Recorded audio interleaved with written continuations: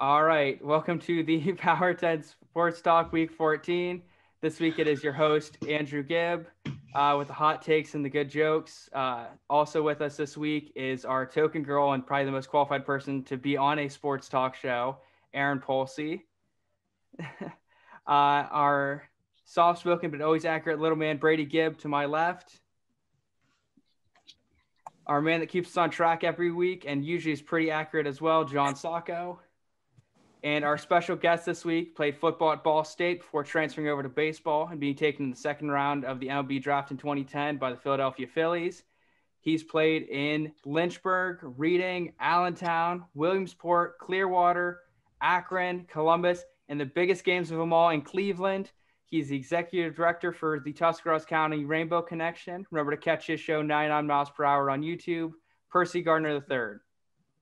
Appreciate you having me. I'm excited Round to of be here. applause. Round of applause there. All You right. have the- do Appreciate you have the clap reading track uh, in the Wikipedia background? bio, Andrew. Yeah, I'll have to find the uh, the clap track and uh, post. But yeah, um, I'll have the link for his show in the description.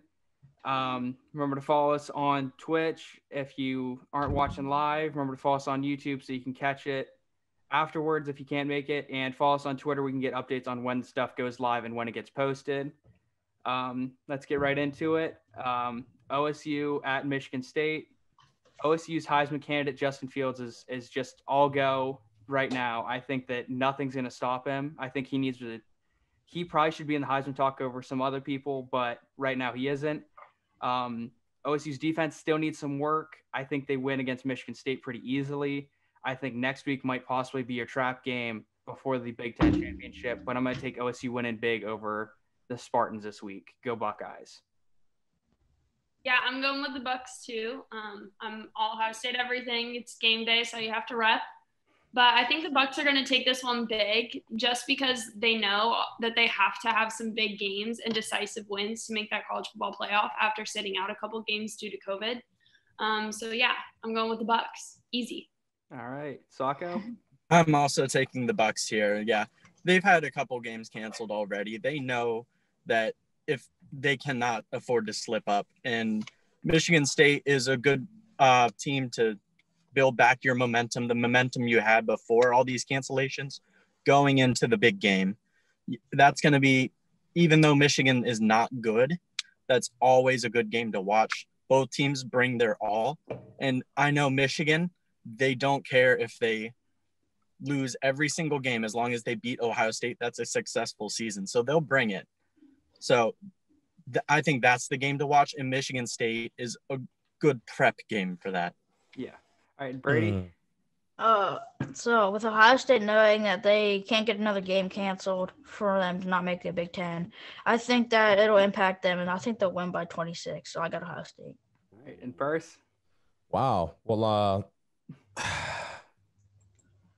you know, there's some there's some some bad blood between me and Ohio State. You know, they didn't recruit me in either in either sport, and uh, neither did Kent State for that matter. But oh, Ohio State has always struck me as a team that they like to to live on the edge, you know, and they don't always like to take care of business when it needs to be taken care of. Mhm. They like to play those close games, even when they won the national championship back. They barely beat, I think, Purdue and and Penn State and those teams, and I think Michigan State, even though they're you know not, you know, like like John said, the, the greatest. Uh, I think they're gonna be more than a prep game, and I think. uh you know, Ohio State, they're still going to squeak it out, but it's it's going to scare some Ohio State fans. oh, absolutely. Yeah. I, every year for the Mhm. past what five years, they've had a trap game that gets them. Last Oh, yeah. years ago is Purdue, where it's like, oh yeah, you should win this game with ease, and then you blow and it. then you have the Iowa game. And then Yeah. before that, the national championship season, you have Virginia Tech. A lot of Yeah. people thought the season was over after that. yeah. So But it- yeah, Ohio State usually has some trap game. The thing you have to recognize with the trap games, though, when it comes to Ohio State, they're always in the first half of the season. Like, especially Virginia, the year they won the national championship, Virginia Tech was week two. So, generally, by the end of the season, they're firing on all cylinders. I know this season's a little different because it's short, Yeah. um, Mhm. but I don't think that this is going to be a trap game. But I maybe with those cancellations, um, it, it is different because it, it very much is sort of like Yeah, you're start still of playing in your first season half of after your an extended break. Yeah, well- but they've had extra time to prepare though. So like if they don't take that seriously, then that I think that's on the coaching. I don't think it's on the players. If they don't use that extra time that they have to prepare well for this game, I don't I have nothing to say. I would be very disappointed. But Yeah. yeah. And I want to Mhm. mention one more thing that I was talking about, you know, the old times. You know, that was a long time ago, but that was, you know, back with the Craig Krenzel and stuff. They didn't really have the talent overall that they did now, but they, they still, that's just been a tradition of Ohio State. So, Mhm. I mean, you had that whenever, One that we're trying to get rid of, one that we don't want to keep. yeah, when Dobbins is in his first year of success, and you are having who was quarterback two years ago against Purdue. That was That would Haskins. have been that would that would Haskins. Haskins' first year, yeah. Whereas, yeah, you have the talent there. You had Chase Young, you had all the talent you could have, but I think it was you went into it already thinking about next week's game, not focusing on the game at hand. hmm And I very much said that, but I still don't think Michigan State has the talent to overcome Ohio State right now, even though I do think Ohio State is looking ahead. Yeah, Or the cohesiveness as a team. Like we talked before, they don't really have an identity within the Big Ten. Michigan State does. Um, they've been good in the past, but this is a new coach, a new system for them, uh, newer at least in the last you know year or two. So I think it's still going to take a while for Michigan State to start firing on all cylinders within the Big Ten. Yeah. alone. yeah. I mean, Michigan's still waiting to fire on all cylinders in the Big Ten, so Are sometimes we a, gonna, ca- are a we gonna coach takes comment a on little bit Kirk longer. Herbstreit? Uh, what did Herbstreit say? I He's- saw that. He said that uh, Michigan's gonna try to ruin the season for Ohio State and just cancel the game because they they know they have no chance to win. Now, see, Oh, about yeah. that, uh, then he apologized. He apologized. that he had to issue an apology. All the Michigan fans were going through for his throat, but like Uh, not, oh yeah, I'm sure. he's yeah.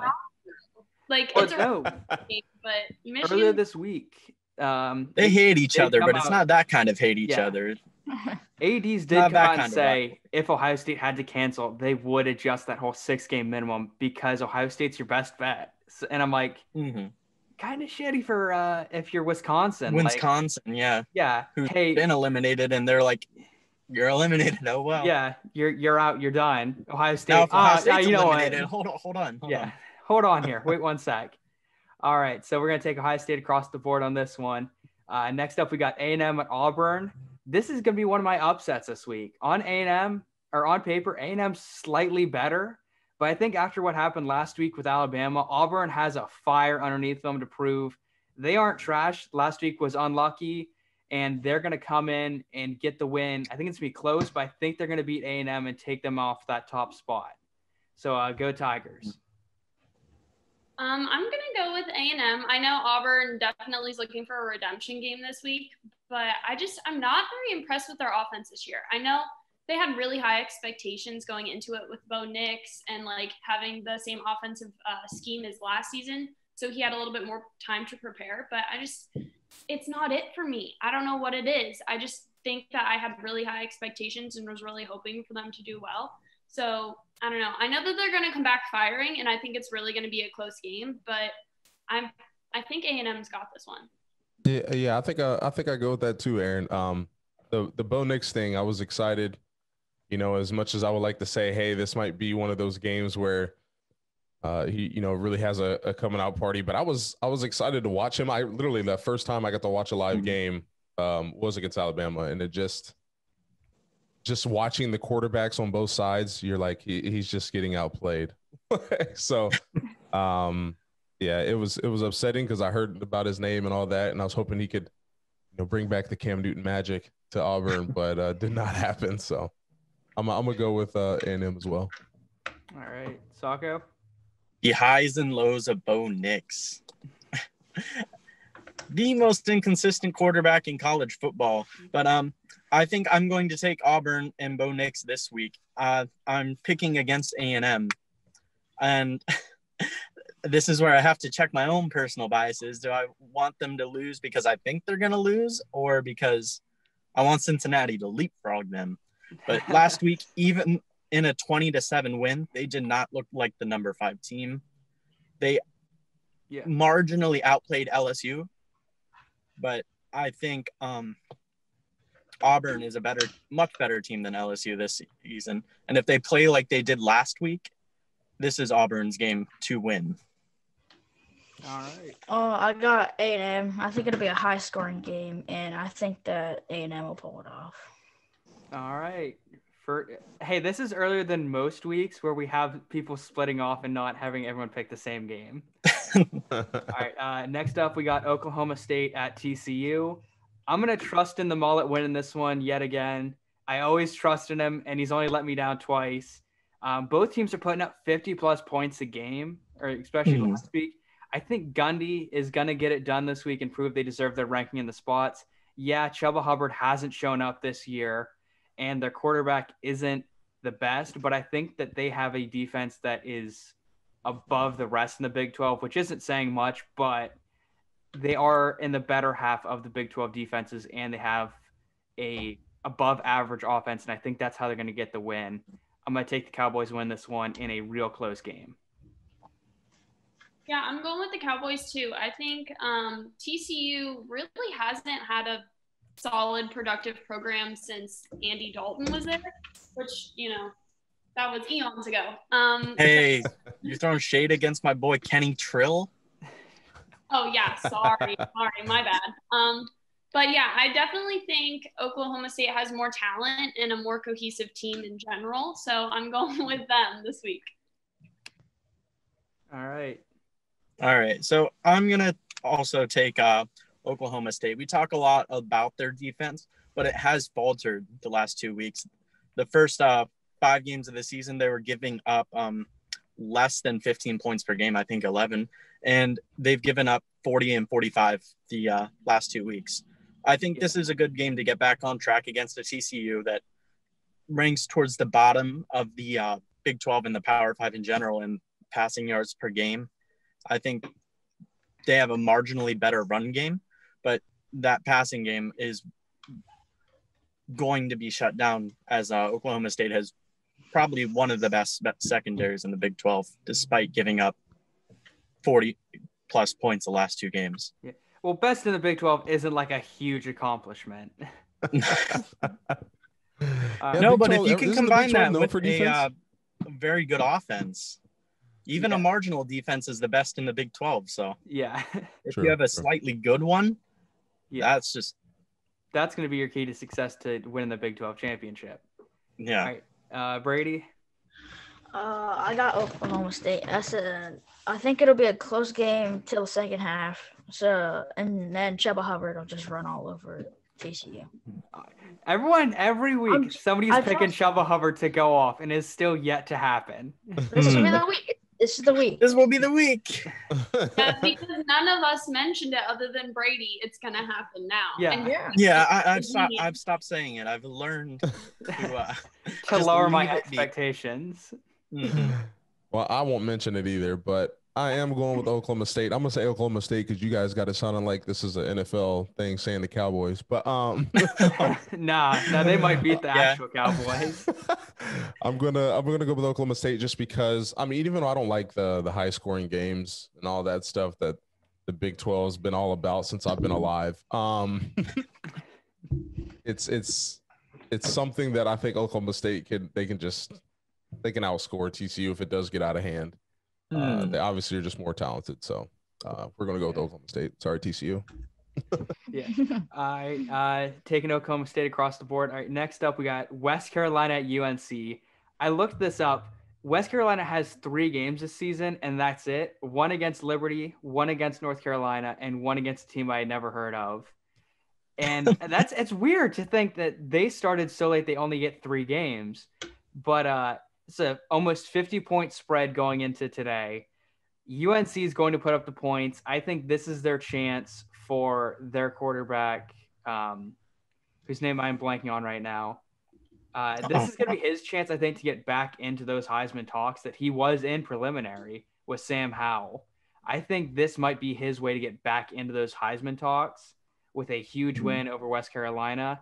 I'm going to take the Tar Heels winning this one as big as I possibly could. And uh, yeah, UNC is probably going to run all over them all night, all day, and it's going to be a it's going to be the game to watch if you just like seeing points. Yeah, I was gonna say if you're a defense fan, this is not it. Um, I've never even heard of West Carolina. It basically sounds like Ohio State playing, you know, I don't know. Kent Ashland. Ashland. Yeah.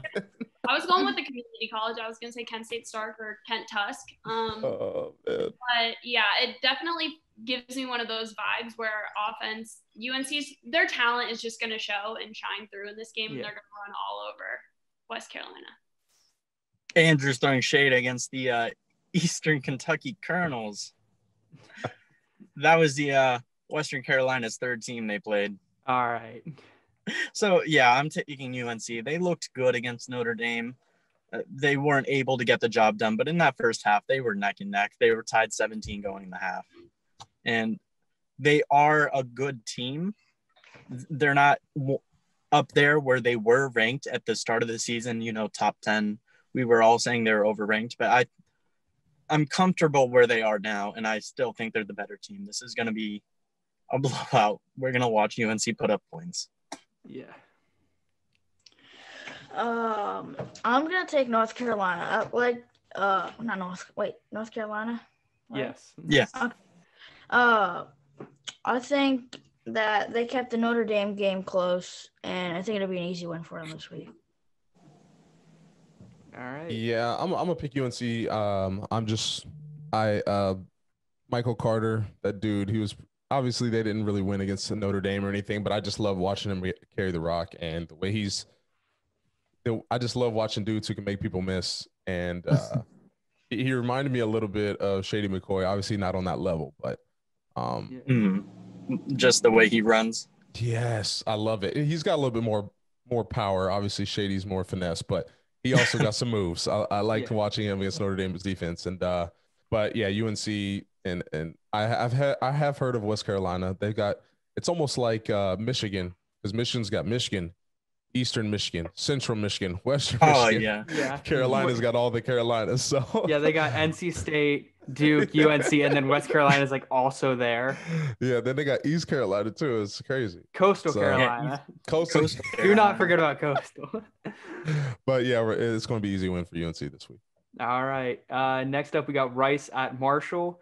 Uh, Marshall is having an amazing year on defense, and it seems like it is almost next to impossible to put points up on them. They're putting only allowing an average around 10 points on defense, and that is astounding stat to have with who they're playing. Yeah, it's not as a power five, but this is the year for the group of five to shine and show that they're playing just as good a games as everyone else. Um, I think that that killer defense is going to be your key to victory and continued success over the next couple years. I don't think they get into year Six, which I think that they need to acknowledge more of the group of five in, but they're going to get a good bowl game. They're going to win it, and I think this is going to carry on some success for the next couple years, and we're going to see some shades of Marshall that we haven't seen in a long time. I'm going to take the herd winning this one in a low score, but it's definitely going to be one side on Marshall's side. Yeah, I definitely think Marshall is the most disrespected non-power five school that's doing really, really well this year. Like no one is talking about them on the same level as um, like Cincinnati, BYU, or Coastal. Yet they've done great all year long, and they've just consistently been getting better. Um, I think Marshall has this one this week as well, but I'm excited to see if they get a decent bowl game at the end of the year. Mhm. I'm taking Marshall. I think it'll be pretty easy. Um, they're going on their eighth game, and Rice is one and two going on their fourth. I think the experience and just being a better team in general gets them the win. But you know, this Andrew, you said shades of Marshall we haven't seen in a while. That two, three years ago they were undefeated with Rakeem Cato as a dark runner or a dark horse Heisman. Yeah, I guess. But I, I'm, I'm They- getting that they've we been are here before. that They we know are how to take care of Marshall, it. like old school Marshall kind of vibe, that punch in the mouth kind of defense that we saw back in the day. oh, that's what you're talking. I'm not, Yeah. you're not speaking to their success. Just I'm I'm thinking that movie We Are Marshall with Matthew McConaughey, wonderful movie. I, I'm s- I'm still saddened by the loss that Marshall had, and this being the 50th anniversary of that happening, I think that that is something that is carrying them through some of these games. Is remembering that 50 years ago, Mhm. tragedy hit that team, building on the legacy of the yeah, program. building on that legacy they had, where they overcame such big trage- tragedy and we're successful. And I think that that is why I'm kind of getting that shade now that this is a team that everyone's sleeping on, no one wants to respect, and Mm-hmm. they they kind of want to prove a point. We are still a great team, and this the 50th anniversary. This is what we're playing for, and they want to win big every week. It is a shame that they don't get the um, discussion that even a coastal gets because Marshall's been here before. They're generally a top 20 ish team.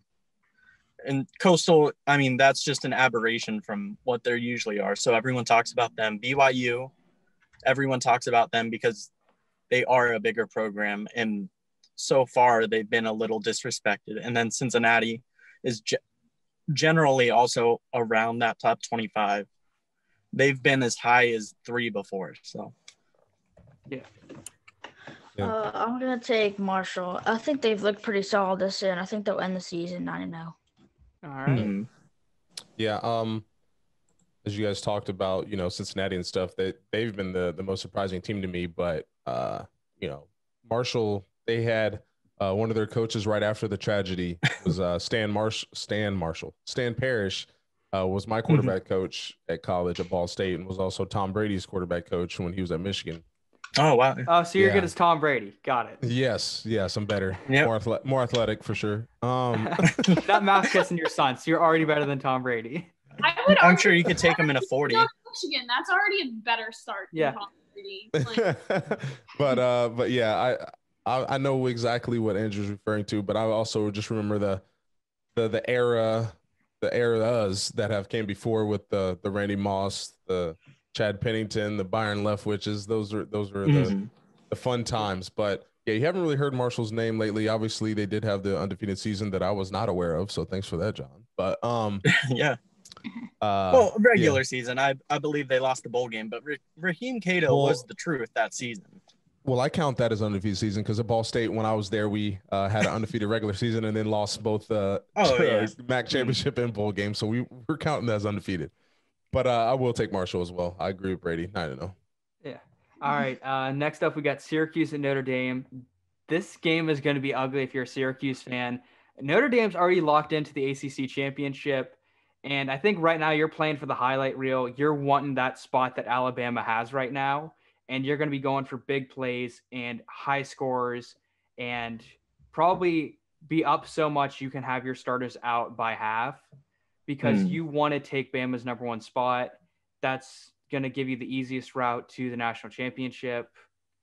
Um, but yeah, I think right now you're you right now are already looking ahead to are we, are we going to play Clemson? Are we going to play the U? This game is just put up big plays. That's all we're doing. We're going to try and be the entire highlight reel on Sports Center this week. I'm going to take the Fighting Irish win in this one. I'm going with Notre Dame too. I honestly don't understand why Ian Book isn't like the front one of the front runners for the Heisman this year. He's done phenomenal. Um, I understand though that he's a seasoned vet. He's in his, I believe, last year there. But um, I still think that he has a lot of talent, and he's shown up in the big games. And the big games are where the Heisman winners, you know, distinguish themselves. So I think that Notre Dame's got the win easy today against Syracuse, but I do think Ian Book needs a little bit more respect this season. Ian Book is second in Notre Dame records, rapidly uh, gaining on Brady Quinn there. So very likely by the end of the season he could pass him. I don't know if that warrants Heisman contender. I mean, he should be in the conversation. I don't know front runner, but I think he gets the job done today. He continues to build that um his legacy at Notre Dame. And I think it's Notre Dame. They don't care about an ACC championship. They've never cared about conference championships. They're playing for the playoff right now. And it's easy to think that they would take the foot off the gas already being locked in, but they're they're looking beyond that. Uh, I'm gonna take Notre Dame. I think Syracuse just looks terrible this year, and it'll be an easy one for Notre Dame. All right. Um, yeah, speaking about Ian Book, I feel like he's super focused this year. I mean, if you guys look it up, I think he's a graduate student, so I don't know Mhm. what students he's really classes he's taking. He might be on that Matt Leinart schedule that Matt Leinart had his last season at USC. but um, yeah, I mean, I'm I'm kind of impressed. Um, and I know I say that just to take shots at my brother-in-law because he's obsessed with Notre Dame and has forced the Irish oh, yeah. level on all of his kids. But um, he's he's he might have some bragging rights this year going in. I always try to bring up Ball State, but obviously uh, Notre Dame's the better team in Indiana. mm. I'm taking Notre Dame this week. All right. Uh, next up, we got West Virginia at Iowa State. Um, I'm gonna lock this one in. Take the bet to the bank. West Virginia is going to close out this game as a winner they have an actual defense in the Big 12 if you look at it. They're only allowing around 280 yards a game on defense, not allowing a ton of points. And I think that is your key to success in any Big 12 game is having a defense that can have success and stop points because that is all the Big 12 is good for is an offense that puts up points. So um few country roads, give me a big Mountaineer win on the road. I think West Virginia gets this one in a very close game, but they're going to win it. Yeah, I've been impressed with um, West Virginia this year, but I'm gonna pick the Cyclones. I think they've been super inconsistent though. That's so this is a very risky pick in my opinion because they show up in a big game and then all of a sudden they don't show up for another three weeks. Um, so sorry guys. She's bobbing and weaving trying to. She wants to be in there. Yeah, yeah. Zuri just wants to play, and everyone's this is She's super sweet, but um, she just wants play and not talk about sport.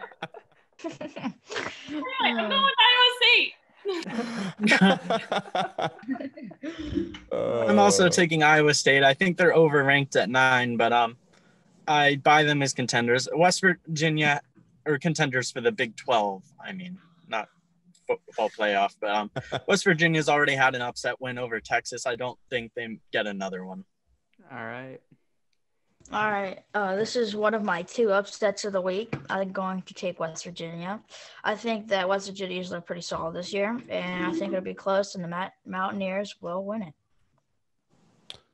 I'm I'm gonna go with uh, Iowa State. I think um, they want to get. I know they they want to prove that they're a top tier team, but obviously I don't think they have a shot in the playoff either. But I think they want to finish the season with you know one of the better records that they can. I think it's almost like us at Ball State when we were, you know, towards the end, we were just trying to get ranked as high as possible. We knew we had no chance to get into the playoffs. We did mm. get ranked 12th though. And I'm sorry I keep talking about Ball State. I know we're gonna get no, there. you're good. but uh but I'm I'm gonna stick with Iowa State this week. All right. Uh next up we got Florida at Tennessee. Florida has a genuine shot at possibly dethroning Alabama as the champs of the SEC with Kyle Trask putting up mm. amazing Heisman stats against probably the hardest opponents out of anyone in the Heisman talks right now. I know Zach Wilson is putting up great numbers, but he is also playing a bit of an easier schedule. Azor Trask is putting up very similar numbers against much harder teams. I think that this is this is your win to get before your SEC championship game against Alabama.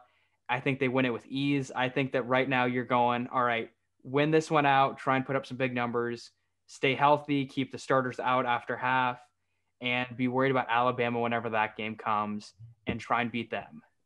So I'm gonna give the Gator chomp and a Florida win. Yeah, I'm going with Florida too. Trask has looked really good this season. Uh, he's definitely my front runner for the Heisman at this point. Um, and I don't really think Tennessee has been super relevant in the SEC. I don't know, really in my lifetime. Um, so I think Florida's got this one easy. I don't know if we should start talking about them maybe beating Alabama. That might be a little premature, but they're I think going to be the only team that gives them a run for the money this year. All right. All right. I'm also taking Florida. Their stock is rapidly rising for me. I am buying them more and more every week. Kyle Trask looks to be better and better. I hesitant to say I may take them over in Alabama. And I pose this question if they beat in Alabama, would that mean to you two SEC teams, two ACC teams in the playoff? I don't know about that. That's that's because it all depends on if the ACC does go one and one with Clemson winning theirs. Mm-hmm. Let's say Notre Dame Ass- does assuming both, yeah. that Clemson would beat a Notre Dame. Yeah, with with Trevor Lawrence healthy and they both go one one, and you have four. So you have four Hmm. teams: two SEC, two ACC, with one loss. Bumping which out a each losing the championship or, or game. a seven win Ohio State. It is tough. Yeah, I would take. I would take that. Ohio State needs a better resume for me to take them in that situation. I agree, sadly, that but I think if Florida wins and Clemson wins their championship games, it has to be two ACC, two SEC. It has to be. There's I, there literally is no argument for Ohio State to be in there, Yeah. other than the fact that they'd be undefeated against a super simple and easy schedule and a Mhm. not even full schedule. Like yeah. it would hurt a lot, and I would be very Yeah. sad. Yeah. But I don't I don't see Ohio State making it in if that's what happens. Yeah. Uh, I'm gonna take Florida. I think Kyle Trask is going to go off and maybe be the next top winner. Yeah, looking at that Ohio State four, no, it just doesn't look like it's gonna fit up there at the top much longer. Um, Yeah. It is. But- it is harder and harder to pick them for the championship. yeah, but uh, I am excited to to see what numbers uh, Kyle Trask puts up this week. Um, he's obviously been impressive, and uh, you know I'm just excited to see. I'm taking Florida, but I'm excited to see what type of, you know, I don't want it to get out of hand where I'm turning the game off, but Yeah. I want Tennessee to put up a fight somewhat so Florida can keep scoring. Uh, I don't want it to be like Maslin, how they took it easy on us in the second half when I was playing football. So, Oh, yeah. Uh, but yeah, yeah, I'll take a Florida as well. All right. So last time, before we ch- pick the next game, Florida had a Heisman contender. It was Tim Tebow. And if you don't remember, some of the other people on that team included Maurkice Pouncey, uh, Percy Pouncey Harvin, brothers, yeah. Riley Cooper, Brandon Spikes, Wasn't Urban Aaron- Meyer, Aaron Hernandez. This is a team. Last time they Joe had Haden on that team? Ah, he may have been. I'm not sure. But yeah, last time they had a Heisman quarterback, the team was filled with controversy. So I'm I'm hmm. worried that like there might be some stuff coming out of the next five years that like somebody on their offensive line like stabbed a guy at a bar. I don't know. Oh like my where you- I mean, Riley Cooper turned out to be like really, really racist. Percy Harvin was smoking dope for every game. Aaron Hernandez killed a guy. Both the Allegedly arrested. three. Yeah, the Pouncey's Yeah, because Percy Harvin's the only person who smokes. Like, Yeah, Percy Harvin was not the only one that smoked. He's the only one that got caught smoking. Let's let's Percy Harvin that. making a comeback, you think? I I don't hope know. so. I Maybe. kinda wanna hope see NFL it. so. stopped uh, marijuana testing. Yeah. No, the That's NBA true. stopped marijuana testing. No, the NFL has too. Oh, the. NFL did too. Yeah. Oh man, Uh-oh. Josh Gordon, number one receiver for as long Josh as that Gordon exists. just got reinstated as of last night. Yeah. Yeah, Josh Gordon is now the number one receiver until they go and test him again. Oh, All right. man. All right, so next up we got Indiana at Wisconsin. I think Wisconsin sees that news about Ohio State possibly getting an exception to that six game rule, and they are pissed.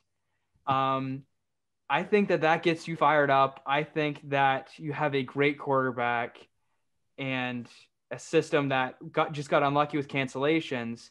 That definitely would be a higher rank had they gotten to play. But um, this is a game I think Indiana may be in over their head right now and getting two back two games that they aren't ready for in a very short time span. But uh, Graham Mertz, I think, is a Heisman sleeper. I think had he played more games, he'd be up for it. But there's always next year for him. I'm going to take the Badgers winning this one big in a statement game saying, hey, if you're going to make the exception for Ohio State, you better make the exception for us. Um, I'm gonna go with Wisconsin as well, but not for the sense of they're mad. I think that they just have more talent and a better coaching staff and organization than Indiana does. So I also expect more from them. Um, I don't. I honestly don't know how you can make the argument that Wisconsin should be in the Big Ten championship. Like they've just missed so many games and they're not undefeated. I believe they've lost a game. So Yeah, they They're- lost What are they? Two and one, three and Two and one, three yeah. Two and one. Two and one. So Good. I don't I don't know if they can be angry and upset and like demand to be in the Big Ten championship. Like uh, even Well, I think it's more upset with, hey, we had five, we only have five games and you labeled us ineligible. And Ohio State's at risk of that. And they say, well, if Ohio State has five, we'll change the rule up. And it's, I know they have one loss and Yeah. it was Northwestern, but yeah, Mhm. it is one where they still would be the best team in the Big Ten West and still would have that spot had they not had to miss so many games. So I think this is one where it, the statement exists in you're going to bend the rules for Ohio State, but not for us, even though we are the best in the West. They may not That's be the best in the Big Ten, but they are the best in the West and they want that spot. Ohio State always gets babied. Yeah. Ohio State does. Oh yeah, and every issue that Ohio State ever has, it's because of someone else. That's why I said the other day the reason why Ohio State had all their COVID tests, I'm blaming it on Maryland, not on Ohio State. Because if Maryland hadn't been healthy, Ohio State would have played, and those guys wouldn't have gone out and tested positive. Mhm. Yeah. So it's not Ohio State's fault ever. It's always someone else's. That's rule number one. Um, but Rule of thumb. yeah, that's just basically what you do when you talk about Ohio State. But um, no, I just I don't un- under like I understand from Big Ten purposes like that it would be better for like a harder matchup game in the Big Ten championship, and Wisconsin is pretty good out in the West. But I think the reason why they're talking about giving Ohio State that exemption or whatever is because that would be the only team they'd have in the college football playoff, and the Big Ten will get money for having a team in the college football playoff Yeah. and the world revolves around money and sports revolves around money. So you can't really fault Ohio State for being good. You just have Yeah. to fault the Big Ten for not building a proper schedule. Yeah. Otherwise, we'd never have this issue in the first place. yeah. Agree. All right. All right, I, I'm taking Wisconsin. Simple fact: Indiana is without Michael Penix Jr. yeah, Bef- that is going to be a big. their quarterback has been the reason they are up there where they are right now. And without him, before him, they don't fall back to irrelevancy, but they did not crack the top half of the um, Big Ten in terms of offense. The, what they have left is a very good defense that is very good in uh, creating turnovers, though. But Yeah. I don't. They're going up against Graham Mertz, who, as you said, very likely next year could be a Heisman contender. In fact, in the first two weeks of the season, I thought he may be the contender pre postponements and cancellations. But I think he will have a good game.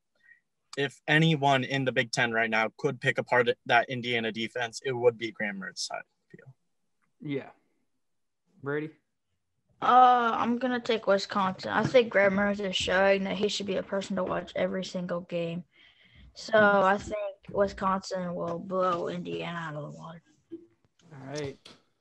Yeah, it's hard to to go against Wisconsin here just because of the simple fact of that that ACL um, of of Penix, and it's I hate to see those injuries. Um, you know, once we get and we might have to jump to the Ball State one. and My daughter's yelling at me, but um, um, you know, seeing season-ending injuries to a team's best player is never it's never what you want to see, especially as a sports fan. Um, and a lot of these people are like, oh, well, you know, it's sports, it's life. But a lot of these kids, they dedicate their life to this sport and to this this school. They're trust me, being a college football player is more than a full time job. Uh, that's why I went to baseball. But um, but uh, but yeah, I see Wisconsin taking this. All right. Uh, yeah, that is something you always hope for a speedy recovery for these guys. Luckily, the program is helping them re- rehabilitate and hopefully get back into it. And uh, yeah, that's something that's it's always tough to see that these guys are working essentially two full time jobs and trying to be a college student. And it's it's one where yeah, there's always the asterisk. Oh yeah, they don't go to class, they don't do anything. Perci, what was your degree in? Computer technology, but Okay, so you actually went to class. we yeah, Ball State, you had to. Yeah, Ball They- State didn't give were- you tutors. you know, it call, uh, some people did. I would say, you know, one or two people had tutors because they actually struggled. But Mhm. our coaches were at our classes. I got, I was good at attendance. There was one time I was going to be late. The coach called me. He's like, "You better get down here, or you're going to have a 6 a.m. and you don't want 6 a.m.s at Ball State." So they were, they were on Um, your tail and they made you go to class. yeah, but yeah, there's always that stigma of that, and I, I do hope that with rehabilitation, he's able to recover and the school is able to help him out. But yeah, um, so you said you might not, you might have to get off soon. yeah, she's yelling. I'm glad it didn't. All right. I'm, this is when a dynamic mic pays off because she was just yelling and you couldn't hear. All right, so uh, we'll pick the uh, Ball State game. We'll pick your alma mater, and we'll let you get off, and we'll pick the rest. Yeah, of the because they're in the top 25, right? Oh no, They are Oh, not. No, what are you talking about? it's the MAC school. Come on. Come on, man. Hey, hey, Hey, hey hey I Watch went to Akron mouth. and No. Kent. They ain't great. Hey. You're a I very just- MAC positive program Yeah, here. we are a MAC positive love show. uh, I got All you. right, so uh, we got Ball State I at like- Central Michigan. Yeah, yeah. Erin has a whole family that went to uh, Bowling Green.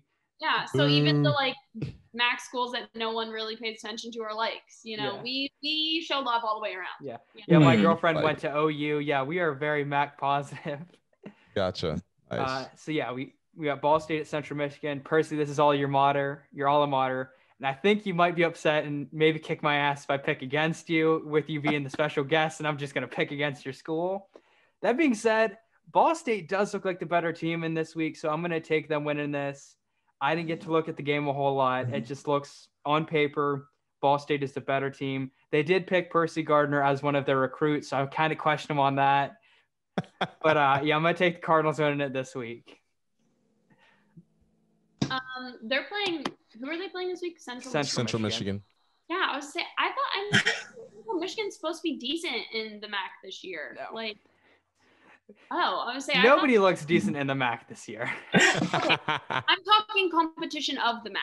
Like, Yeah, no that one, doesn't they're, exist they're either. both three and one. They're both three and one. Relatively. Right. Yeah. Okay, that's what I'm saying. Like in the MAC, they look good, not necessarily in football. Against anyone else. Against the competition. Right. Um. So I I'm sad because I like Perci and I have like uh, Mariah Monaco. She's from Dover. She went to Ball Yeah, State as well. true, you know, true. I, I own two different Ball State basketball shirts. I almost wore one. I just rep it. oh But I gotta go with I gotta go with Central Michigan. Oh. Hmm. Even after what Antonio Brown has been doing. No, I'm joking. yeah, yeah, he was a student for what, like four weeks? Four weeks, yeah. Left the NFL, what became a student probably what- like I feel bad for his lab partner. They'd be like, "Oh man, Antonio Brown, yeah, I'm doing all the work now." Doing all the work. All right, yeah. Both teams are three and one. You have Western Michigan there, who's uh, undefeated. So this is the battle to um pr- try to um catch up here. And I, I both teams are very evenly matched, I think. And I'm ta- I'll take Central Michigan just on the fact um one of their better players is recently graduated. And I think without a Perci Garner type player there, I don't see how you can overcome a Central Michigan. Uh, you know, I played like two snaps there, right? and it's two more than any of us have ever played. yeah. We kiss enough fast, maybe we get you back on the show. Gotcha. I gotcha. Listen, team dynamic and leadership on the team counts too. So you got to True, do Yeah, true. I, I gave good There's a signals whole from the bunch that goes sideline. on behind the scenes that no one Yeah, he really was the sees on the best field. redshirt freshman they've ever had. Exactly. I, I, I do take I take Ball State though. I think they come out. All right. Okay. Okay. Okay. Like it. All right, I'm gonna try to make sure I'm on Perci's good side, so I'm gonna take Ball State. Yeah, yeah, you're pitching coach. You better be on his good side. I'm a big bully. Y'all I'm are all leaving me out to the wolves. Damn. Yeah. Yeah, you got to kiss the rings, Erin. Actually, he Well, doesn't have any um, rings. Don't worry. uh, yeah. Well, this one, uh, I will say I'm gonna bring up some history because you know back when I was at Ball State, uh, Central had some. At the time, we didn't know they were going to be what they are, but you know they had Dan LeFevour, uh, Antonio Brown, and an Hmm. offensive J.J. Watt, which that story in itself is weird. But uh, he obviously left Central and became, you know, one of the Who best defensive now, players yeah. ever. Yeah. but um, I always thought that you know Central was one of our our better games every year, uh, and we traded blows, and their program has been has been well when I was there, and then they had a couple good teams after I left, but uh, the last five meetings between these teams is has been very close. I think decided, you know, by one score. But if you take Ball State's schedule as a whole, the nine out of their last twelve games have all been one score, and I think all the games this year have all been close. So, um, even though Antonio Brown is who he is, I got to mention this. You know, one of my favorite players in in college football history was Dante Love. He played for Ball State before he broke his neck. He was leading the nation in all-purpose yards, and he was our best player on Ball State, and uh, no one knew at the time that Antonio Brown was going to turn into what he is. But um, but I will have to go with Ball State here. Um, even though Drew, uh, the quarterback there, Drew Plitt, he hasn't had the the good the season that he had last year. I think he's going to step up, and then you know Ball State's always been the team who can run the ball, so uh, I think they're going to win. That long-winded answer, you know. All right. Hey, hey, you gave us a great story from it. All right. Well, uh, thank you for joining us this week. I know you got the kids to take care of. Hopefully, it ain't too much of a handful today. But yeah, thank you so much for joining us this week. Give another Yeah. round of applause to Perci Garner. I appreciate you guys Wonderful having, having me. you on the show. Yeah, Hope hopefully we can have you on the show soon. again sometime. Yeah, we'll see. We'll see. You might have to, uh, you know, give me some type of stipend or have your dad make, Stipend. make your have your Y'all are dad getting make me for that. this? have your dad uh, make me some type of uh, what's that meal he's good at? Is it lasagna or what is it? Oh no, that is not him. That makes a good No, lasagna. that's my mom. Oh, that's Travis. Nah, or is it- nah. Uh, it's your Tiff mom? makes good lasagna. I Oh, okay. try and get him to make like some pulled pork or something in the smoker. That's that's the Okay. ticket Ah, right something there. in the smoker. Okay, that'll work. That'll work. or that'll some work. baked mac and cheese. Okay, and and get him back in our in our uh our small group at church. All right. So, but all right, guys, I appreciate you guys having me. What you guys are doing is great. I love it. And uh, you know, you guys are out here grinding. Look at John in his car, making sure. You know, I should have went Making out sure my I'm car. here, so, yeah. But uh, you know, good luck with all this, and uh, uh, I appreciate it. And you know, I don't know what else you guys got. You guys got talking about what the the lack of fans in games and all that stuff coming Uh, up. yeah, we got to get yeah, the rest of the we'll, picks we'll hit, in. hit news after picks. We wanted to make sure we got picks in with you here. Okay, I appreciate it. All right, well, I'll see you guys. Yep. All right, we'll see you. Bye. See ya. All right. So next game we got, um, we got Iowa at Illinois. Iowa has to be the better defense today to win this game because both offensively they they need a change up at play caller. Mhm. Um, they don't have that leader at quarterback. They both look at their their touchdown to interceptions are very similar. They're completing not a lot of passes, and this is a game where your defense is gonna have to win you the game for you because your quarterback's not gonna do it. Your running back's not gonna do it. You are gonna have to have turnovers and help them with field position. So in this, I'm going to take Iowa to win it Mhm. in probably a game where both teams stay under 20. But yeah, I'm going to take the Hawkeyes winning this one close. Yeah, I don't really think either team has like the dynamic a dynamic offense or anything this year, so I don't think it's going to be a super high scoring game either.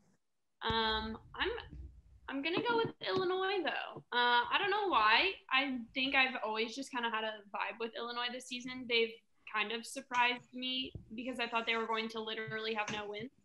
Um, so yeah, you know, underdog status, right? Yeah. I think this is a battle of the defenses. Like you said, um, Illinois' offense, they're middling. And um, Iowa's offense, they have no action, they have no leader of that offense. I think this, if Lovie Smith, as poor as Illinois it has been, he knows one thing, it's how to coach a defense. Those Chicago Bears defenses were great and even Illinois' defense, without the talent of the premier schools in the Big Ten, has finished very well in terms of defense. And I think, um, I lost my train of thought. I, I think um, that's enough to get it done. I think Illinois can take the upset. All right. Uh, I'm gonna go with Iowa. I think that the games they've lost, it was close, and the games they've won, they've won big. So I think that this would be a big win for them. So I got Iowa. Yeah. Yeah. So we're all predicting this not be a, a, an amazing game. This is No. probably going to be your filter game between good games. Maybe turn it on. Mhm. Uh, all right, but yeah, next up we got Tulsa at Navy. Um, I don't have much to say on this game. I really think this is going to be the game where you go on your beer run between games. You're going to go make your dinner. You're going to go use the bathroom. Don't be disrespecting the Golden I'm not. Hurricane. I'm not trying to disrespect the Golden Hurricanes in this one. I do have them winning, but this does not look like it'll be a good game. Now the team has a very um, dynamic offense, not a great defense. This is going to just be one of those games that Tulsa got the rank, so we're gonna talk about them. But I don't know who I Tulsa will win it close, maybe, hopefully. It's not gonna be a good game. I can tell you that for sure. It's not gonna be the game to watch this week. Um, but I'm I am gonna take Tulsa winning. I do think they are slightly better. I'm gonna go with Tulsa too. I don't know if you could argue it's not going to be a good game. It might just be, you know, a sloppy game. It might be a close game. Yeah, that's more what I mean. Like, yeah, it's not going to be your big plays on offense and defense. It's just kind of going to be your run of the mill kind of. Yeah. It's going to be tooth, tooth and nail. What is it? Nose to the grindstone or something Yeah. like that kind of game. Um, whatever team can like take advantage of the mistakes and turnovers is who I think is going to win. But I'm going with Tulsa. All right. I'm going Tulsa. I think this is I think this is going to be a good game. I think your headphones are on too tight, cutting off some blood to your brain. Uh, Navy's a team that does not throw the ball unless they need to. They're a very run first, triple option team. This is a, Tulsa's defense is good. I, this is especially a game where a lot of running occurs. This is a game where your linebackers are going to shine and a star in the conference, probably maybe defensive player of the year in the conference. No, Cincinnati's winning. Any Cincinnati players winning that. But a star like Zaven Collins will have a great game. He is the anchor of that defense. And I think this is a game where he comes out and shows what he can do. He puts on a redshirt junior, he's looking towards the NFL. All right. Uh, I got Tulsa. I think it'll be close, but Tulsa will pull it off. Yeah, and I'm not trying to disrespect the American. I don't know. It's just I haven't seen a whole lot great on Tulsa. Navy, looking at them statistically, isn't going to be great. I do think Army Navy will be a good game because for some reason that is always an amazing game, regardless of how the teams are doing. But yeah, this game didn't stand out to me. It's a 25th ranked against a team that's uh, at the 500 mark. It's it's one that I think people would pass over in normal circumstances, and that's why I am labeling it as the go get a beer, go make a Mhm. go. It's just one that I don't think is very. It's not a high risk. I, I think every Tulsa be- game's exciting.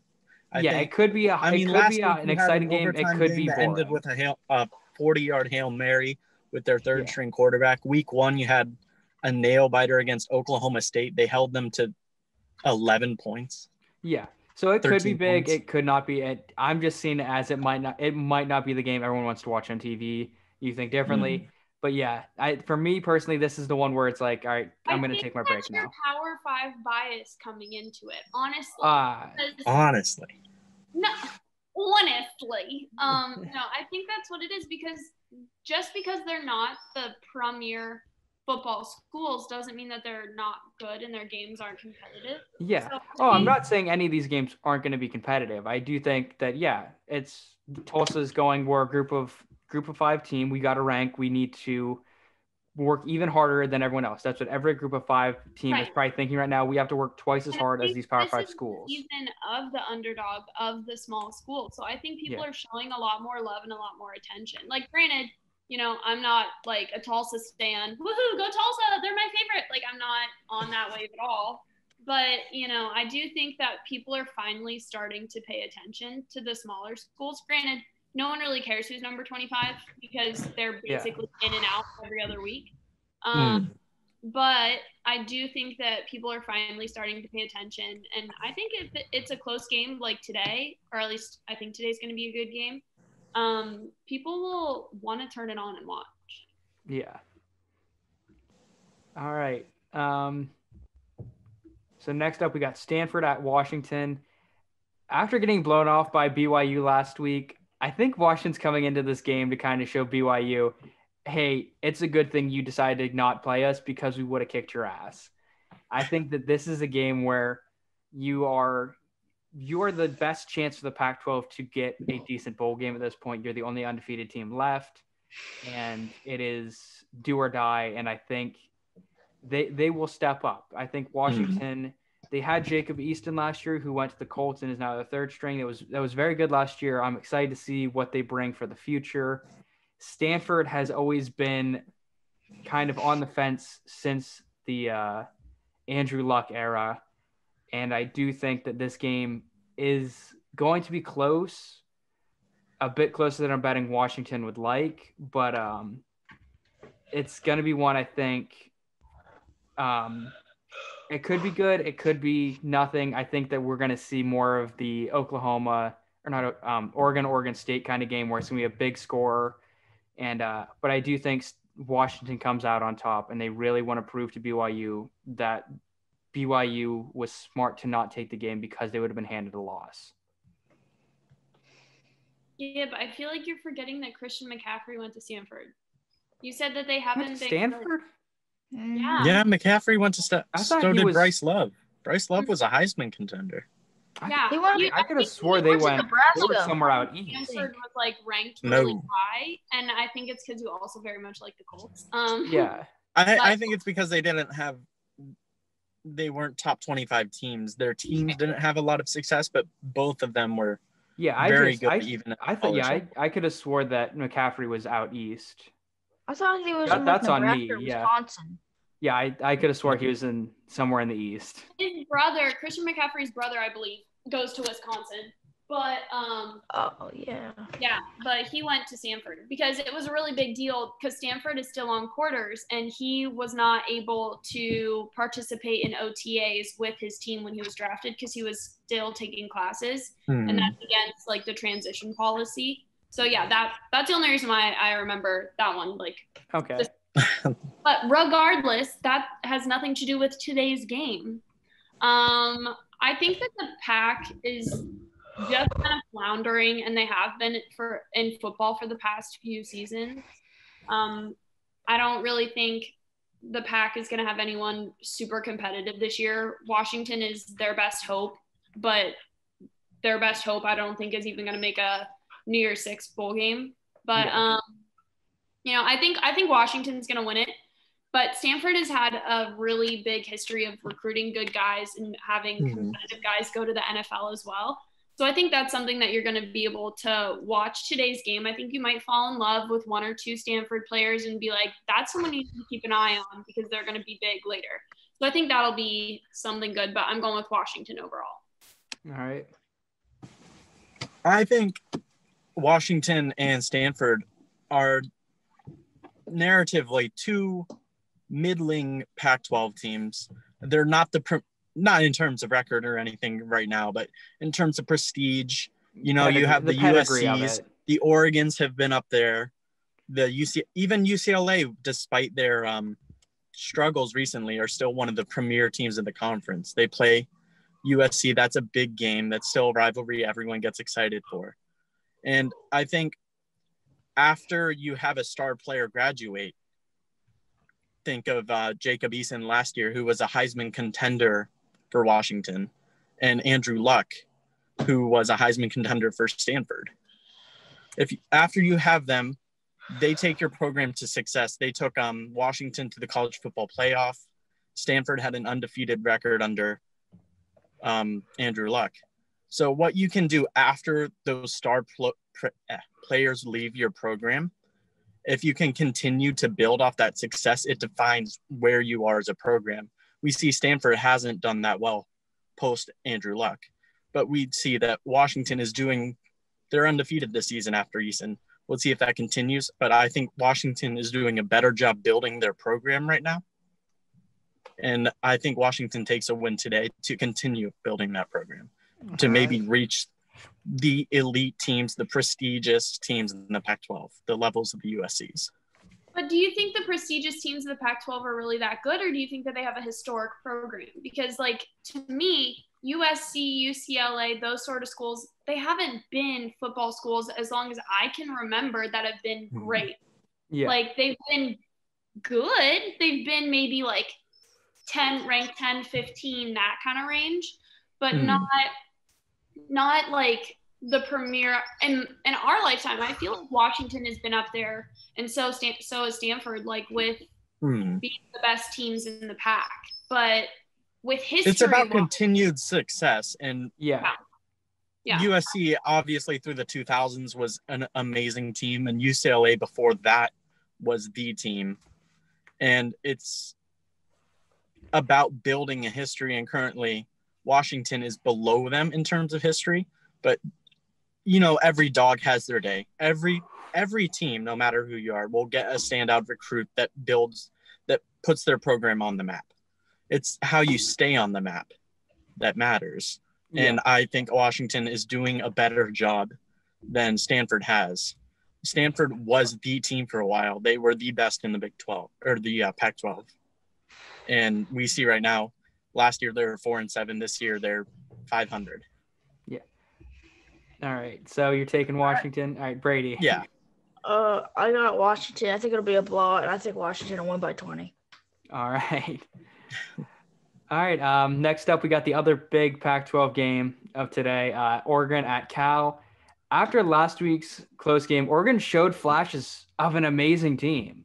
Yes, they did end up losing to Oregon State, but there was a great team there. And I think that if they can take that team and have it play throughout, they easily could take back the Pac 12 from Washington but I, it all depends on if they can have that great team show up every week for the next three weeks, which is not great because you're already on a shortened schedule and you can't have any mistakes. But I think they need to take a page out of the Deion Sanders playbook. And uh, if you look good, you feel good. And if you feel good, you play good. And Oregon always, you know, they go all the way up to 11 with the uh, uniforms.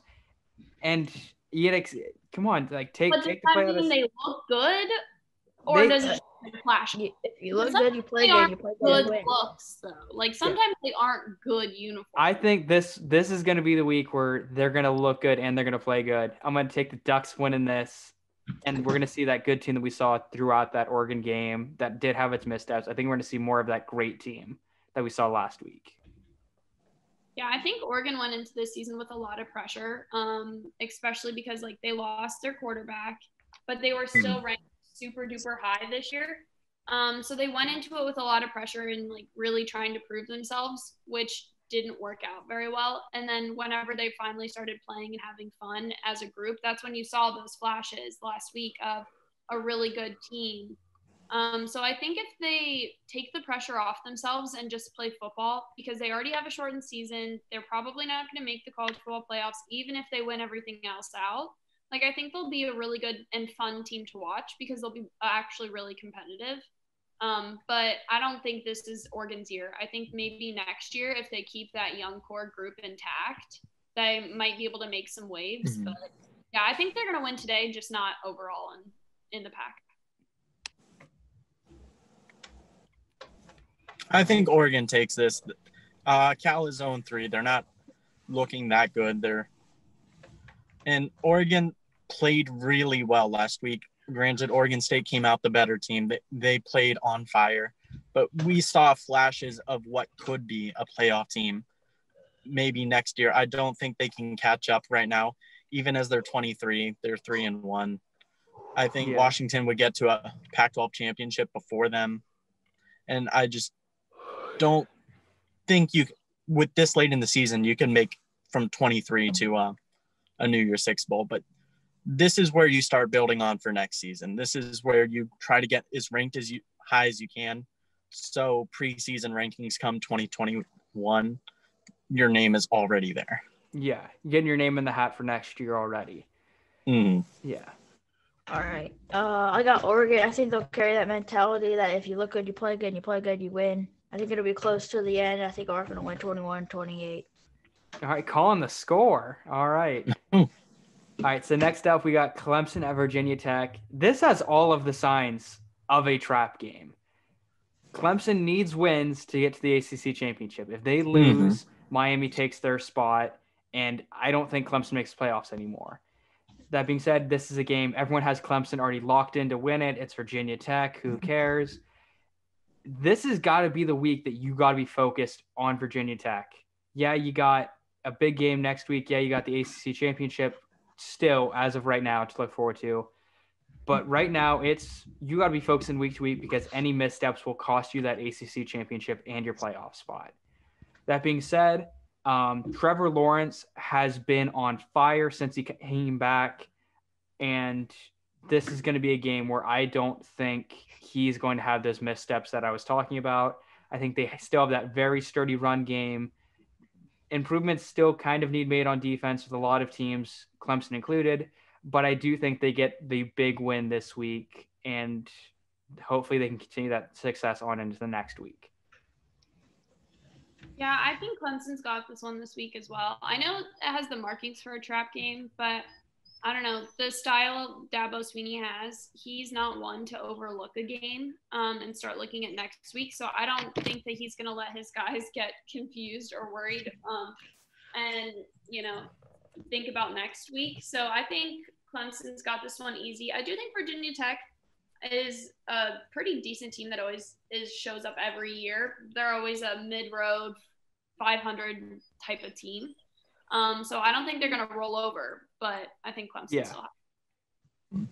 Um, I I agree. Clemson's not the type of program. Dabo's not the type of coach to uh, fall for a trap game. But even the best coaches will will fall for a trap game, even if they're not that style. Even if they're looking at games. Think to Pittsburgh uh, last year, Yeah. and think to Syracuse. So I don't think he overlooks this game. I, I do see the where this could be a trap game. Virginia Tech is much better than their record shows. yes. I just I can't see it. I don't see it happening this week. Uh, I'm gonna make it short sweet. I think Clemson will win by 30 this week. I think Trevor Lawrence will pop off, and will probably score, probably throw three touchdowns.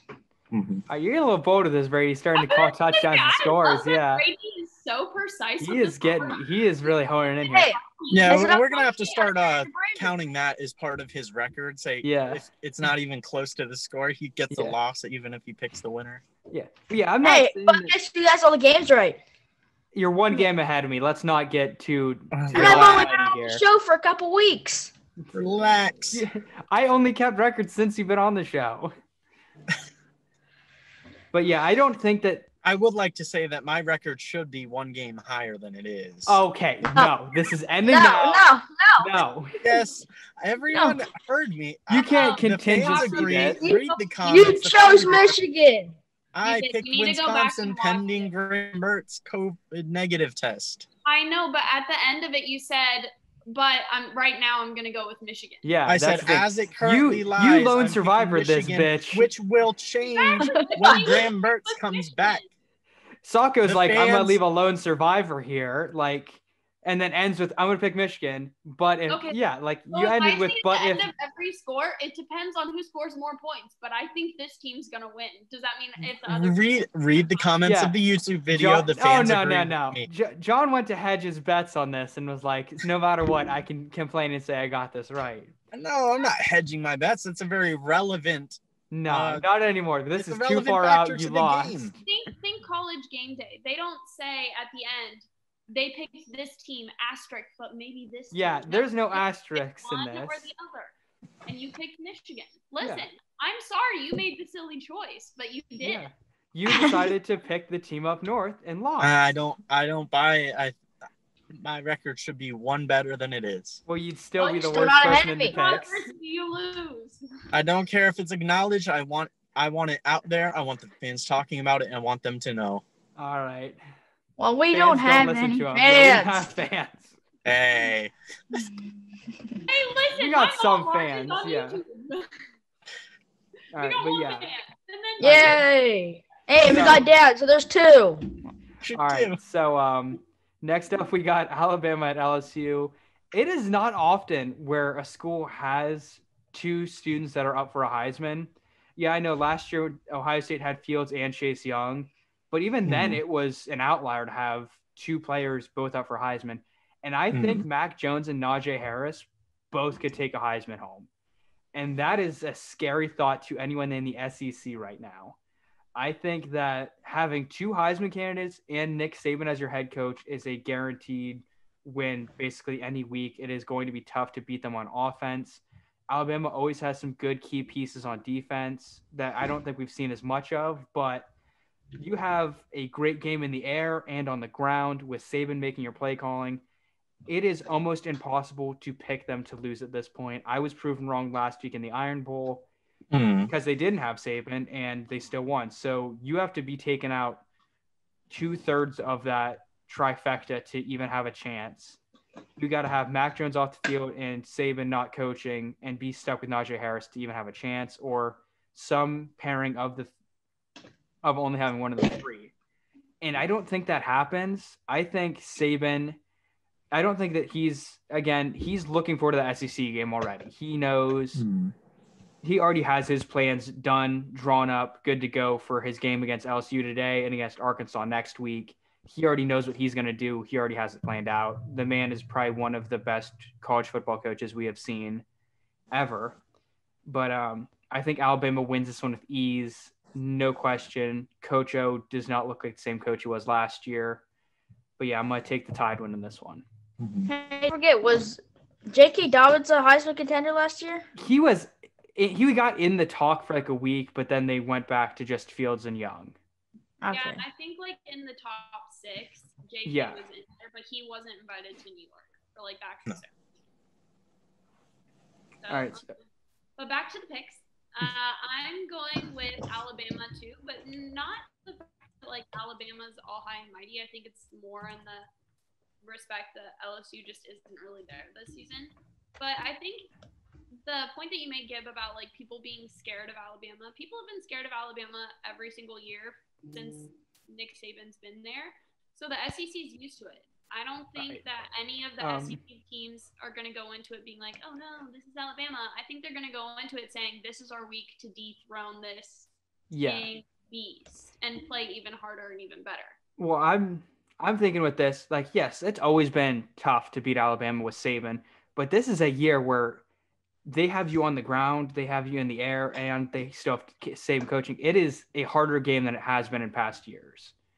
Well, Alabama's always had a good run game. Like, yes, you look they've, back, but the thing is, they've either had the great quarterback in a good run game or a great run game and a good quarterback. But this year it Mhm. seems like they've got it. They've got it all on offense. Yeah, I agree. Like this year, they have a good running back and they have a good quarterback. But I also don't think that that's going to make anyone think twice about them being better or worse than they have been in years past. Like, I think every team's still going to go into it more excited that it is Alabama and that they have the chance to like dethrone them. Yeah. Um, but I don't think LSU's going to get it done today. I don't think LSU's um, there this season. LSU finally had a quarterback for the first time in like 20 years for two seasons, and now they're kind of confused. Now they don't have a quarterback again. So Hmm. um, they have to kind of re-figure out their offense and everything, and then maybe in like two years, LSU will be back. But I don't see it happening this year or next year. yeah. I'm picking Alabama. I think their talent is just overwhelming. You have Najee Harris, like you said, Mac Jones. They both have legitimate teams to the Heisman Trophy. That's not even including phenomenal offensive line play, that defense, and your receivers, which it's just overwhelming for LSU right now, who has not looked the same as last year's LSU. Yeah. I think um, this is a rivalry game, so it's always going to be close. But you're going to be able to slow them down, but not stop them. Even playing LSU's best football. Yeah, I'm gonna pick Alabama. I think uh, it'll be a blowout, and Mac Jones will just destroy LSU's off defense. Yeah. Yeah. Um, I think the spread is like 20 something. it is a high spread. I, I remember seeing it last Mhm. night. I don't know how much the line has changed. 22. It's 22. Oh my god, I'm that's pretty sure. that's not the highest of today though. No, That goes to UNC UNC's a 50 point favorite. But uh, all right, so we got a couple more games. Bleacher Report saying it's a 30 points uh, spread right now. Okay. 29 and a half. ESPN, yeah, Like ESPN has it. So I don't know. I well, I checked it this morning, so it's been a while. All right. Um, next up we got Miami at Duke. Duke is gonna get steamrolled this week. Um, at, plain and simple, I think um, U has always prided themselves on that big flashy defense, and while we haven't gotten to see it as much this year, I think this is the week where we see it again. You have a, a an above average defense matching up against a quarterback that is throwing more interceptions than touchdowns and is throwing around a 53% completion rate. It's this game is very much in Miami's favor. This is you should win this without any issues. you should be winning this game, hoping that Clemson loses theirs and you can take their championship spot in the ACC. But uh, yeah, I think right now, I I think Miami is very much playing week to week and not looking ahead yet, just because you are in a conference with Clemson and Notre Dame right now, where they are a very good team. So it's kind of win win your game that week and worry about next week next week. But uh, yeah, I'm gonna take the Canes winning this one in a very lopsided game. Yeah, I'm gonna go with Miami as well. I know I'm pretty sure today's Duke's senior night, so like that'll be big. Um, a lot of players will, you know, want to show up and show out for their senior night, but I don't think it's gonna affect the game at all. I don't think that they're gonna hold a candle to Miami. Um, I think they have, have Miami has a lot or has way more reasons to play tough and hard um, just to make it to that ACC championship game. And I don't think they're going to stop fumble over Duke. I think they've got this one easy. Yeah. I'm also taking Miami. I think um, this is a very a Miami team that's still very alive in conference championship talks. They don't control their own destiny, however. So I think that is kind of this grounding force where they're like, let's just focus on what we can do and let Clemson do what they do. But we need to focus on winning before anything. Yeah, you need to focus on your win before you work. Focus on Clemson's loss. Yeah. Uh, I'm also taking Miami. I think Duke is a team that they have years that they're good, and they have years that they're bad. One of these years is they're bad, and I think that he also stick with basketball. Yeah. They seem well, to be great in basketball, so. Yeah, that that is one thing. They seem to be, yeah. Seem to be great, yeah. they still seem to bust my March Madness bracket every year. Oh yeah. All right. Um. All right. So we got two games left, and then we'll get into the news. Uh, first up, we got Baylor at Oklahoma. Rattler is amazed me. He at the beginning of the year, I thought Oklahoma's going to have their off year. They're not going to be great. This is going to be a year where I don't think they have the success they have in past years. But Rattler is looking to be the fourth quarterback under Lincoln Riley that is in the Heisman talks. And I don't think this is going to be the year just because of the two losses and COVID giving other guys more opportunity than others. Mm-hmm. But next in the next year or two, I think him and uh, oh my gosh, uh, I'm blanking on a name right now. Um, Graham Mertz. I think for the next two years, those two guys are going to be butting heads for who's going to win the Heisman. But uh, I think that he absolutely will get a Heisman in, in the next couple years and join Kyler Murray and Baker Mayfield in the Heisman house. And this is going to be a big win this week against Baylor, who isn't doing great on offense or on defense. Where in previous years they've at least had a, a great defense at Baylor, where they just don't have it this year. So I'm going to take Oklahoma winning this one big, uh, taking the Sooners. I know we always joke about like the Big 12 not having defenses, but Oklahoma actually has a pretty good one this year. Um, and I don't really think Baylor is the Baylor of past. So I don't yeah. really they're going to put up too much of a fight. I think Oklahoma's going to be able to run all over them pretty simple. But I do think that they have a really good quarterback program, if you can't already tell by the multiple Heisman winners in a row that they've had. Um, so it'll be exciting to see if they can get another one in the next few years. And I think that might change the vibe of the Big 12 if a lot of elite players start going to the Big 12 because they think they have the shot at winning the Heisman. That'd be interesting yeah. to watch. I'd be down. Yeah. I think Oklahoma wins this as well. I think they're in the position of the Oregons and the Washington or the Oregons where you um might not have a chance at the college football playoff this year or the New Year Six because you're already at two losses. But this is where you win as as you can, keep going as high as you can, so you're already there for next year. You have a head start. Your name's already in contention. Yeah. Yeah, I'm gonna take Oklahoma with this one. I think that they'll run all over uh, Baylor. Baylor has its years like with RG three, but I think this is the year that they're not looking too great. So I'm gonna, mm. go All right. And our big game of the day. The moment everyone has been waiting for. BYU at Coastal Carolina. BYU may be an 11 point favorite, but I'm going to keep on rolling with the Chanticleers. They just have that special charisma on the surf turf. I think that this is going to be the game where Coastal proves they are the real deal. 100% taking the Chanticleers. Let's go. Wow, things just got serious. Um, Things got serious. well, I'm I'm excited for this game. I think it was a really good get. Um, BYU. Mm, the only thing with this game is I would have actually very much liked it to be like a New Year's Six game. I would have loved to see Yeah. these two teams play at the end of the year. Just be like, who is the king of the non-power five, other than Cincinnati, because it's pretty Yeah, I would obvious. say it's Cincinnati. But you know, like I hope Cincinnati makes a playoff. That's what I'm still rooting for at this point. Mhm. But um, yeah, I think I, I really don't know. I think we're gonna go with BYU. Just because I like Zach Wilson. That's really the only reason. I love a good mullet, so like I won't be mad if either team wins. But I'm a fan of Zach Wilson, so I'm going BYU. All right. This is the game to watch if you love quarterback play. You have Heisman contender Zach Wilson versus a very good Grayson McCall who's leading the conference. I I love to see that this game is regular season. I love to see that they could put this together in two weeks.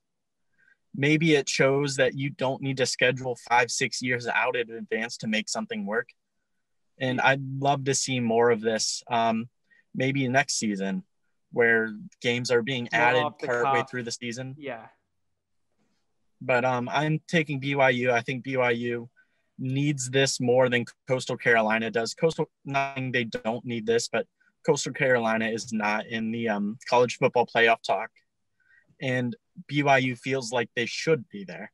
They're not right there because the committee has looked at that schedule and said, we don't think this is enough. You pass the eye test, but these teams just aren't cutting it. And I don't know if the committee looks at a Coastal Carolina and says, "Oh, this is markedly better than who you've been playing. We'll put you there," because they've also disrespected Coastal Carolina a little by dropping them much lower than their AP rank. Was their AP rank 14? It was now they're- yeah. Yeah, uh, they're 18 in the college football playoff ranking. I don't know how much this improves them, but anything that will help BYU, BYU, I think takes this one. All right, Andrew. Going with Coastal Carolina. All right. There you go. All right. I'm gonna go with Coastal Carolina. I think that they are gonna run all over BYU. I think they'll have the moments when they throw interceptions, do turnover on downs, but I think that they'll come out ready to play and win. Yeah, this is something uh, I could go either way. I'm I'm gonna take Coastal in this because I think they have a much bigger chip on their shoulder coming into this game. They were supposed to be dead last in the Sun Belt, and look at them now. They're undefeated. They're ranked. They got BYU this week. They got everyone excited for them. They have the surf turf. They have the Chanticleer, which nobody knew what it was before the start of the Oh, season. that's They have the Chanticleer Chandelier, that linebacker. They give him the nickname. They go after big wins and are pretending to be WWE wrestlers, busting people through ta- their strength and conditioning coaches through tables. And it's it's a team that is having fun and going into every game going, no one thought we should be here, but we're here and we're gonna give 120%. And that I think is is the a- key. I think is a- BYU Oh, sorry. what oh I'm Oh, sorry. no, I was gonna say this is a team that proves that like the brotherhood and playing for each other is real and serious Yes. when it comes to team sports because that's what they're doing. They're having fun and playing for each other, and it's clearly been paying off. there is a great camaraderie between this team, and you can tell it's evident when they play, when you see them on the sidelines. I think this is just a fun program to watch, Yeah. And this is one- regardless if they win today. or not. Yeah. I do think, yeah, that everyone in this team had screenshots of them being supposedly the bottom of the barrel. And they're at this point, and now we get the big mm-hmm. game tonight of the Mormons versus the Mullets. And it's it just has the makings for a great game on both sides of the ball. I just think Coastal Carolina has has that drive just a little bit more, where BYU has gotten to coast on some games. Mhm. And for years now, I'm, I'm not disregarding BYU as a program or any bias. They have gotten to pick games and have typically in history picked easier schedules. And obviously now it is getting to pay off as a rank, but Coastal was a nobody, and yeah, they've had to work their way up. Where BYU kind of already had the good graces of the committee in some regard, Mhm. and just had to keep winning these nothing games. And yeah, that's easier said than done, but I think Coastal just wants it more tonight, and they're going to get the win off of a real close game. All right, I'm gonna have to hop off. I'm gonna go watch the Ohio State game. All right, um, real quick, we'll get through the news. Um, I have Rose to go, Bowl- guys, I'm sorry. I have to go return Zuri, but I've had a lot of fun and I'm cheated too, clearly. So yeah. All All right. right. bye, guys. Bye, Erin. Bye. All right. All right, Brady, you gonna stay for the news? No, I'm gonna go. I have to go get ready to go clean. Okay. All right, that's fine. It, will it'll only take five minutes. There's Yeah. not a lot of news to talk Okay. about. Not a lot of news, not a lot of rank stuff. Um, Alright, so the Rose Bowl and Fiesta Bowl we played without fans this year, and there's no Rose Bowl parade. I know the Rose Bowl parade isn't the biggest part of it; it's the actual game. But it is going to be weird seeing it on TV without that giant parade from like noon to Mhm. one o'clock. And yeah, it's definitely going to change up the vibe a little bit, but not a whole lot. Seeing as usually these are very neutral site games with a, with Mhm. the affiliations that they usually are. But yeah, I don't see even if these were supposed to be the real big games, or at least the Rose Bowl was. And I do think that it doesn't affect home field advantage. And I, I don't think it has a real impact on the game in this year because no one really kind of knew who was going to be where or what was happening. hmm But yeah, this it does seem weird to to be seeing bowl games without fans. Oh, it's going to be very weird, but I think it's the smart and the right choice to make. I Yeah, it is absolutely the Uh, safe choice. These are playoff games. You do not want these canceled. These are the big money makers for your school. Yes. And if there's any chance, if there's anything you can do to reduce the chance of it getting either moved off a New Year's Day bowl Yeah. or um, canceled all out outright, um, you take that chance. You do whatever you can to play that game. yeah. Big news: Ohio State just scored. All right, sweet. Stayed All on right, this uh, so we'll get to the news real quick so Well, everyone can get to wait. watching the games. I don't know if they scored, but it looked like his knee was already down. All right. It was Um, Master Peak though. the only other bit of news that we saw this Was, week uh, uh, Georgia and Vanderbilt was canceled. Georgia and Vandy was canceled, which their athletic director had some uh, comments to make.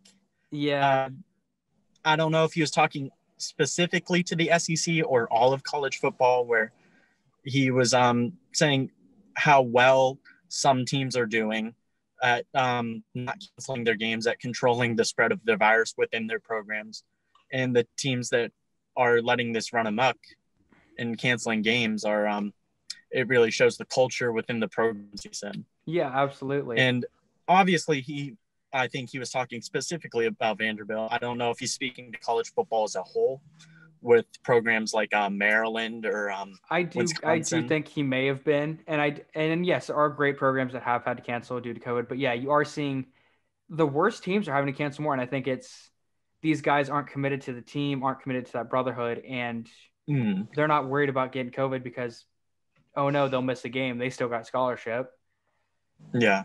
and but yeah, this is one, and the other news about Vandy, um, Sarah Fuller did have her one kick last week. It was Remains on is going to remain on the team for the rest of yes, the season. Is going to be on, and we did get to see later on Sunday she did compete in a women's soccer match and almost went goal to goal with a kick, and Mhm. that is very impressive. And I think that it that squib was intentional, and it was not. I don't know if it was intentional, but It honestly, definitely was one I, to I stop them from getting the better field strategy in doing that. You, I think it was you knew your defense was gonna let them loose, but at least try and hold them back just a little Yeah. more. So do the squib so they can't try and run it up past you. But yeah, um, she received so much unwarranted Preventive- from a lot of guys on Twitter and TikTok Mhm. and Instagram that never played a Division One game, definitely Mhm. couldn't kick a football, and are smaller than her and probably could get their ass kicked by her. She is six foot two there are a lot of people that are that are going to talk shit that because she's a girl and she had maybe it was muffed, maybe it was a squib that she can't kick as well as a guy. Well, Mhm. you're not there, I do buy an argument not that you a scholarship. So shut up and like Mhm. this situation where she's doing something you can't do. Don't need to belittle her at this point. If I would say if maybe in the next couple games there are more bad kicks or they aren't going the distance, maybe yes, we can't say she couldn't get the job done. But at this point, there's one kick that was supposed to be a squib apparently. Hop off and remember she's in she's going and playing two division one sports. You're not doing anything. Yeah, as I was saying, all of the I do buy an argument that it's um, it was an intentional squib. Even if it wasn't, it doesn't matter. Honestly, She's playing two more kick, division and I one think- sports than most people. exactly. Um, if that was a male soccer player out there, um, I don't think people would bat an eye. I'd say, oh, she, he's only had a week of practice. He's switching sports. Yeah. They make a lot of excuses for him that the a woman just won't get. But even without a hypothetical, honestly, it, what does it matter? Yeah. Um, yeah, that's It's about the only one news. kick. I'm love to see her kick again. I'd Yeah, love to I'd- see her kick a field goal, score a point. That would be Yeah. amazing. That would be I that's the one thing I want to see is her score points and succeed. I'd love to see a lot of players that weren't given a fair shake that might be at a disadvantage get that shake Mhm. that they deserve. I, I Um, like I I don't like to see thinly veiled sexism as a um, form or veiled as a practicality. They're say, oh, she didn't earn the spot. Uh, Well, they don't have a men's soccer team, so they had to pick the best. they don't have a men's option. soccer team. Th- These are people who don't want to look at facts but pretend to uh, Yeah, play the centrist role, pretend there's a meritocracy. There's no other kicker on that team. You have Yeah. to go to the women's she's six foot and two and a goalie. I can tell you, she has experience with place kicks and with punts. She is on absolutely your paper, she is yeah. the best person for that job. yeah. She has earned that spot, whether she performs or not. Yes. Um, so yeah, the only thing left to talk about right now is uh, the rankings. I don't think Ohio State deserves the top four spot. They didn't get to play last week, and I think It's been two weeks. Given that knowledge, they don't get the spot on Tuesday, and I think Cincy should have taken their spot. I don't think it should have been a Mm. switch, but I think Cincy deserves a spot, and Ohio State not playing was the perfect opportunity to slide them in. Yeah, if maybe it was only for a week. I still think that Ohio State shouldn't be keeping their spot whenever they don't play. And that is a tough call to make is teams cancel and you don't see them move in the rankings. And Mm. yes, I do think if it's on the other team, you shouldn't be moving. But if it's a problem at Ohio State, it's on the program not having enough discipline to keep guys contained. And you maybe Yeah. want to bump them a spot or two. I'm not saying drop them down eight spots, but move them a spot or two and let them know we noticed that there's a lack of discipline. Mm. But um, the other thing with the uh, college football until the final week, honestly, it doesn't even matter. You may get a small insight into what the committee's thinking yeah, or what they're valuing this season, but it really does not matter until those final rankings are released and bowl games are set. yeah. So Yeah, the only other comments I had was uh, I think Georgia, Iowa State, Oklahoma, and Oklahoma State shouldn't be as high as they are with multiple losses. I do think a lot of them still deserve ranks because they are good teams, but hmm, not as high as they are with I think two, the two losses. every Big 12 team is overranked by at least three spots. Yeah, and um, I think UNC should not be ranked with three losses. Yes, Mhm. this we said this week. One this was gonna a be an easy Notre game. Dame, but still, One's a I- Notre Dame, two are unranked. You're at three losses. You you shouldn't be having a spot at that point unless there are no other options. If you Mm-hmm. I are the best three loss team, I get it. With one or But two loss that are being left out. yes, there are better. I think even an SMU, one of those losses was to a top 10 Cincinnati. yeah, I think they've they may have a shot over in North Carolina with three losses. And yeah. It are you the best team for that spot, or is it just you have a Power Five spot and you happen to Hmm. be three loss? Yeah, it's something I question with the committee. Hopefully, they're able to remedy it. And the thing is, with this game this week, you know they'll stand because they'll win, but I don't know. I think that needs a second look. And um, Yeah. last thing I have is six group of five teams are in the ranks. And that's something that seems like the committee's actually doing right is giving these Hmm. smaller schools more more of a shake than they had in previous years. I, I do appreciate that. I still don't think they're taking them seriously as Yeah, playoff contenders. It That's almost seems like it's an empty gesture. Like, hey, we gave them ranks. Like, come on, what else Yeah. do you expect us to do?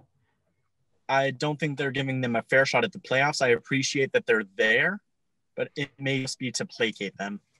Yeah. All right. I uh, think Cincinnati at 8 and 0 has a shot to the four spot. They have a claim to that final playoff spot ahead of a four, previously three, uh, when Ohio State, and even with Texas A&M and uh, Florida ahead of them, one losses, and losses to um, or some wins that haven't looked that great. Texas A&M, despite beating Florida, uh, they struggled against Vandy first game of the season. yeah. they got blown out by Georgia. And I think their resume isn't quite as strong as Cincinnati's. People like to say Cincinnati plays in a high school conference, but you look at that, that's not true. S&P, it's a Yeah. tired narrative. S&P rankings show yeah. they're one of the better teams. that there are teams that are getting ranks that don't deserve it because just mm-hmm. because you're a power five, you shouldn't be getting a rank. Same as being a group five shouldn't automatically bump you to the bottom.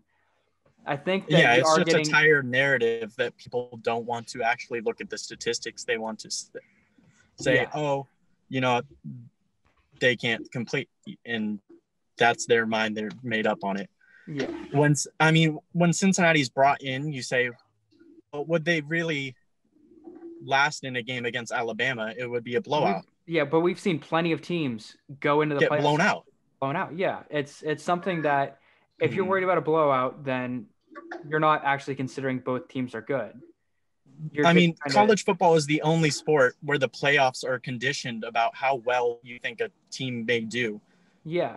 It's a do you condi- think do the Browns could beat the think- Chiefs? No, No. No. Are, are we saying the Browns don't deserve a playoff spot because they can't beat the Chiefs?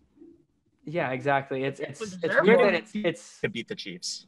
it's um situational that oh well since since he couldn't beat an Alabama or Clemson or Mhm. Notre Dame, The Steelers are going to be the anyway. yeah. first seed in the NFL playoffs ahead of the Chiefs. Yeah, and I but don't, I don't think, Steelers anyone outside of Pittsburgh would actually pick them in a game against the Chiefs. I'm not saying they can't win, but I don't think anyone would favor them. Yeah, and I've discussed with some some Steelers fans. They're like, I don't think we're the best team.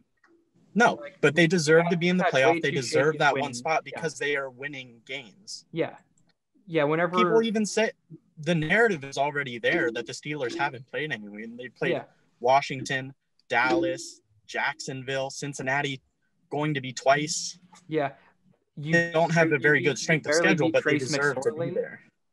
Uh, here, here's another interesting fact. So that's the second time they've almost lost to a third string Yeah, that that is another thing. Yeah, whenever they oh well the Chiefs had just an easy of a schedule. Well, the Chiefs were dominating them through games. They Mhm. at no point did I think Chiefs would lose a game.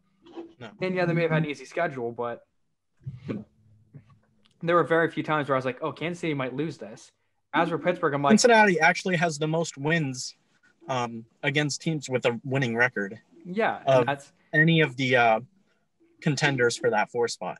yeah, and that's something that is being so overlooked that I think is is the Mhm. biggest factor in this. So w- when you actually look at statistics and facts, that they haven't played anyone, narrative falls apart.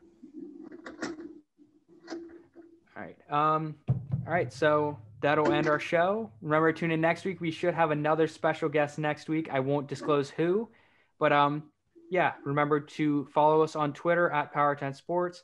Go follow us on Twitch if you want to be updated when the show goes live. Follow us on YouTube so we can get a metric of how good we're doing. Give us a like, a comment, a follow, anything. Spread the word about the show. We appreciate everything that you fans do every week. It lets us know we're doing a good job.